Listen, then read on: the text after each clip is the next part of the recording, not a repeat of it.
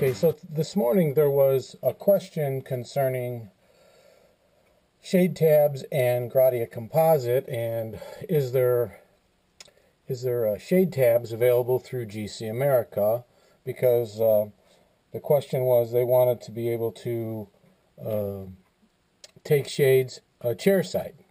So let me show you what I've done and then maybe you could take these uh, suggestions and turn it into something that'll work for you. When I first started working with composite materials, the first thing I had to do is I had to um, be able to uh, differentiate the way the composite looked on top of the acrylic versus by itself. And so, you know, we always have to worry about the canvas, you know, the um, what are we putting it on top of and how does that affect the overall shape, okay? So what I did for acrylics was that I took, and these were blank. You can get these from GC America. They're they're shade tab makers. Okay. Um, so what the first thing that I did was I took one of the shade tabs that had nothing on it. What I did is I waxed up a uh, like a little uh, tab on top of there in wax. And then I took putty when I got it to where I wanted it, and I pressed the putty on top of that tab and impressed it. Then I scratched off the wax, and then what I did was I took the shade of acrylic that I like the best, and um, I took each one of these tabs with that little silicone form and filled it with um, self-curing uh, material uh, in the shade that I, you know, with GC, their acrylics match from the self-cure, the microwave, and the heat cure, and the pour. They all, they all match up. So the, shade that I like, the uh, Light Fibered Plus, what I did was I filled that little, that little form up, pressed it on, and let that set up. And what I did was I made little Light Fibered Plus tabs. Once I took, once I got the tabs, what I did was um, I had to color them so that I could see what the shade looked like. So in the gum, for the gum modifiers, and that's the ones I have to do it on because the bodies they stand by themselves as you can see on the back side. You, that's completely a body material in each one of these.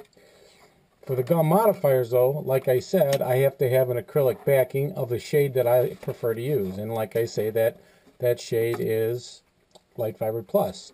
So I made those little tabs with light fiber plus and then I went and I took the gum modifiers the GMs and placed it on top of each one of them so that I could see what the effect was with light fibered plus acrylic and the um, gum modifiers, the 31, 2, 3, 4, 35, and 36. Okay.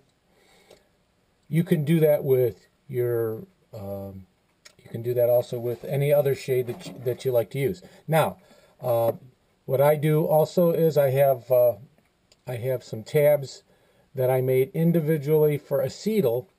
But the thing with acetal is, or trinia, if you're using the ivory, or anything that's white, PMMA underneath, is that you also, before you, if, if you were to make some tabs, you don't have to make them on this, but if you were to make just little tabs using scrap like this and just cutting and and carving yourself some tabs is you always got to remember that you've got to first put the opaque on uh, before you put the color on and and that's what you use your tabs. You can't just put it on the white.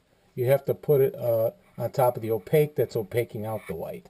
And I hope you're doing that because if you're not you're probably finding that many times if not all the time your restorations that you're building on top of Trinia are uh, have an orange complexion to them and that's because you have this white in behind that pink and it's it's driving it to look orange.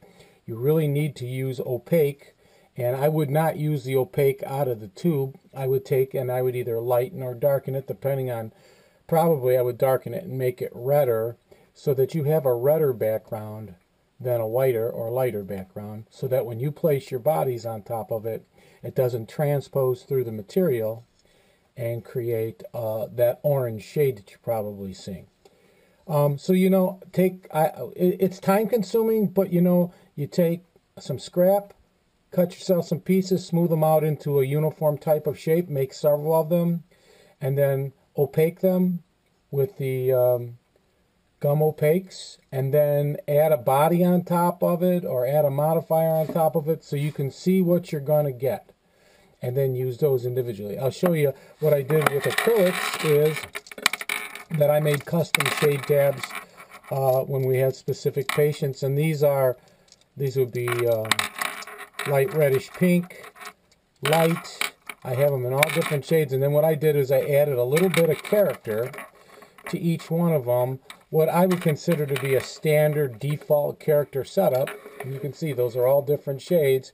And by doing that, um, I can supply these uh, to my doctors um, so they can do a chair side matching. It also gives them a chance to show the patient uh, different options for color and what they look like.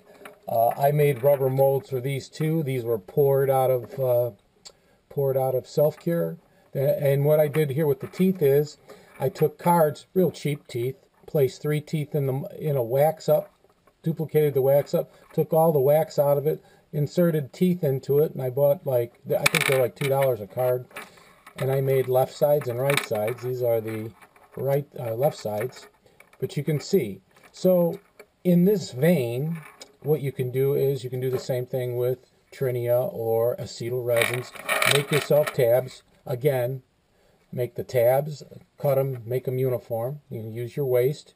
Then go back, opaque them with the opaque color you're going to use when you do the buildup. And then you can lay the bodies and modifiers depending on what you want to match up. And most times, most cases, you'll probably use the bodies because if you're doing a big buildup on a bar, you want to make sure that you have a body first, then modifiers for the shade or color options. Okay anyway, that's just a quick one, just to give you get your gears rolling, so that you can kind of get an idea of, you know, how how to get yourself a baseline, so that you can hit that shade that you're looking for for the tissue.